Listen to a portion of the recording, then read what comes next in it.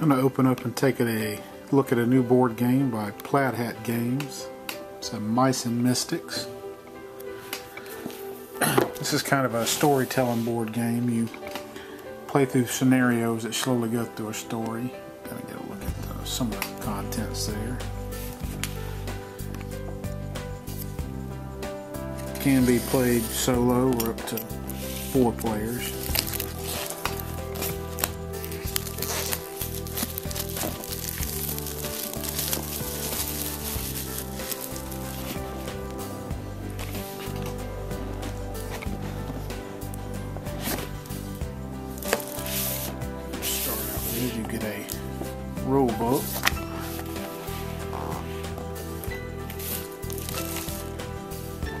Looks like it's got a little thing for a video with a tutorial on how to play.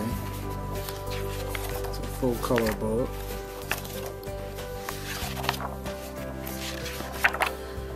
And it looks to be about 22 pages. Last couple of pages being credits, and then you have some explanations of some different icons in the game. You get the Sorrow and Remembrance book. This is the scenarios you can kind of play through. You kind of see it has different events that can occur, which tiles to use, what monsters go in what thing. Looks like you get about it's about 57, 58 pages there. You have the turn tracker board, which looks like it comes in two pieces kind of fits together like a puzzle. Has an initiative tracker on one side, kind of a little monitor for the uh, uh, special event for the bad guys, and then you have different pages that can take place in the story, and the storybook tells you what happens with each page and at what page the story ends and the game's over. We have the game tiles here. Looks like we have eight game tiles. They're double sided.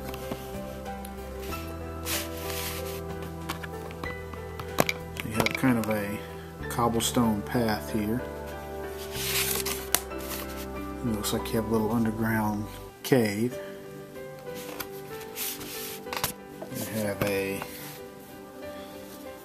Looks to be a kitchen floor with a table up top.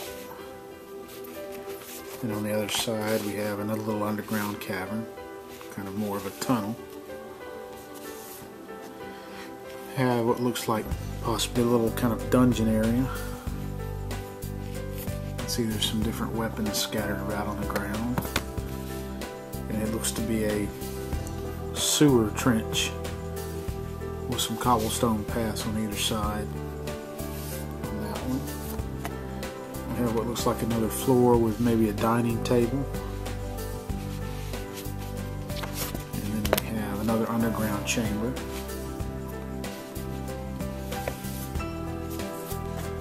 This looks to be maybe a wizard's laboratory. You can see kind of the rooms drawn on the floor and a couple of tables. Some other stuff hanging around. It's like another little underground cavern with some crystals. Bed chamber. You can see the bed, little nightstand maybe, or a food tray, and the fireplace, a chest on the end, and another underground area with looks like a river going through it. Have a Another room here with lots of cobwebs and a desk. Looks to be maybe a some sort of central furnace room. I don't know if that's for a blacksmith. I see pipes going out like maybe it's heating the rest of the castle. And that's on the other side. And then we have what looks like a sewer flush out with the cobblestones there Kind of a raised area on either side. And on the other side of it, we have what looks like a complex maze of pipes. So those are all the game tiles that come with this. And then we have some tokens. And these look like maybe they're different items you can get during the game, like a little hourglass piece. You have some tokens here for rat warriors. It looks like we have some condition tokens for like poisoned or I'm not sure what the other things are. And the same thing, double-sided.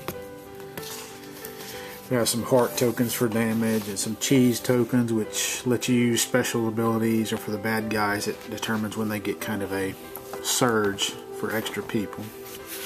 Some more heart tokens here, some status effect tokens for your uh, characters. You have webbed, stunned, and charmed. I have another little rat token here. A couple of mice traps a fish hook and string, which is an item you use during the game, and then you have this, which goes on the page tracker to tell you when the story is over, how many pages it takes for it to end. Have some miniatures. I'll look at those last. Have some dice. These are custom dice. Believe you have like a sword on the side, a sword and shield, cheese token, an arrow token, another arrow token, and another sword and shield. And that determines when you hit with uh, ranged or when you hit with melee or in the case of the shield block with melee or if you get a cheese token during an attack to help your character out and they have a little asterisk on them on some of them too which are special during the game give you when you do a certain action I believe those determine whether the action's successful get a big bag here. I'll be using Plano probably to store this. You get the character cards. So you have Filch, he's a scamp. Maginos, who's a mystic. Lily, who is an archer. Nez, who is a warrior tinker. Collin, who is a leader and a warrior. And Tilda, who is a So that's six rat people you can play. We have some cards here too. And that's going to be everything that's in there. We'll take a look at some of the cards. These are initiative tracker cards and they go on that little puzzle piece I showed. And these have all the different monsters and the characters. And whenever you have these in a room together, you place them on the initiative tracker in the order that they go. So you get enough for the monsters that come in here and the characters. These look like maybe they're special ability cards.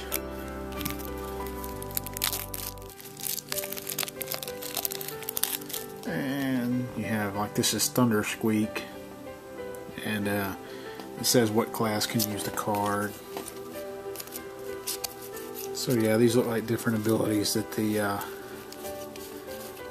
mice can acquire during the game. Or maybe they can start out with some and then acquire more later.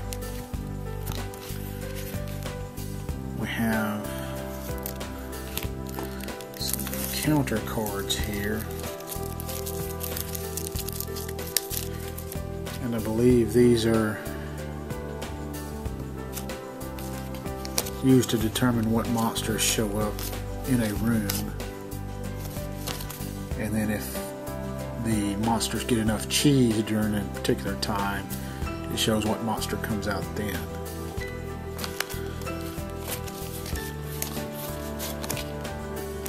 And I don't know if they these are set randomly during the encounter or if uh,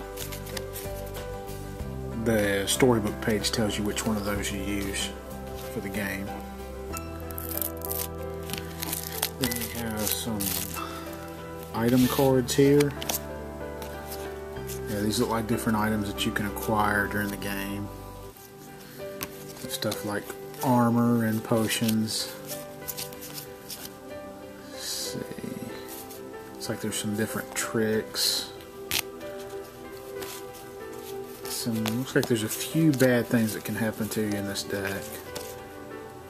Poison cheese. Looks like this is your starting equipment and other equipment that if you search for during the game, you can find it.